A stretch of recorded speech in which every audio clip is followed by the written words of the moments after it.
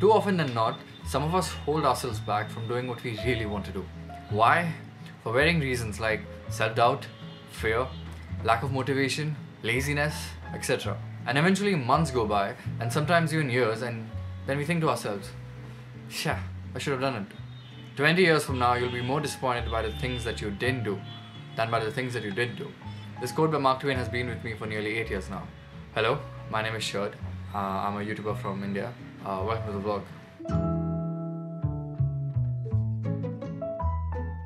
Now, some of you are probably wondering why am I talking on this topic? Well, for two reasons. One, for people around me who want to create content and are either struggling to start or have started and are struggling to sustain.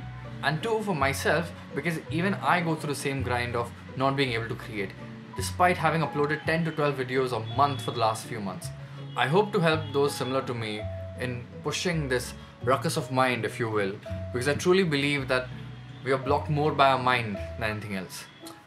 Having said that, I don't really have a solution per se, but uh, more like a way of looking at the big picture or the long term plan. But to understand this art of doing and just doing, we first have to look the other way the art of not doing and never doing. Why, why, why, why don't we do stuff? Why do we pause? Why do we stop?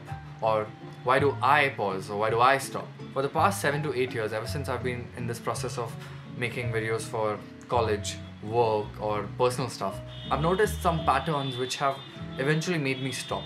You get this idea and you think it's brilliant. You tell that idea to your friend and he thinks it's brilliant. So you sit down and start discussing this idea.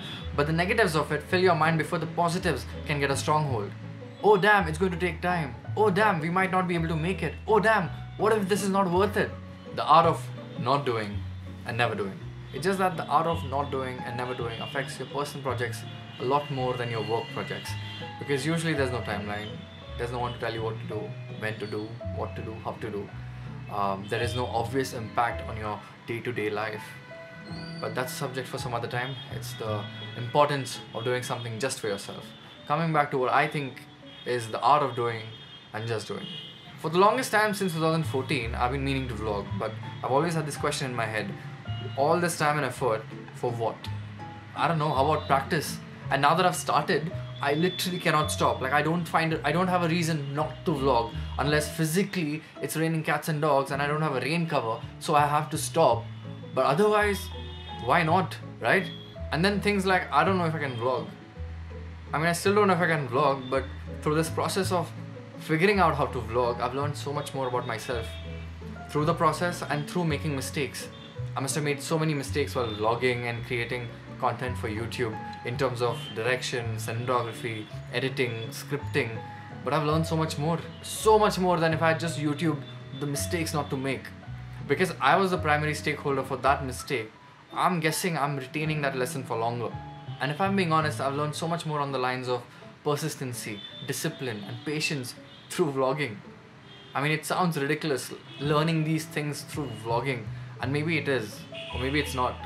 But that's just the way that it is. And now without making this too long just i mean to wrap this up it, this, it's just so much fun. It's just so much fun to do just to do. By logic doing is more fun than not doing. And that's just by just by pure a is equal to b is equal to c a is equal to c again maybe it doesn't make sense but it does make sense here. So yeah. Um, the art of doing and just doing. This was just something which came off from my filmmaking as a sport uh, vlog. And I wanted to just um, jam on that. So yeah. Um, let me know what you guys think in the comments below. What do you guys think on this philosophy yes yeah comment below and let me know. Um, like share and subscribe. And as always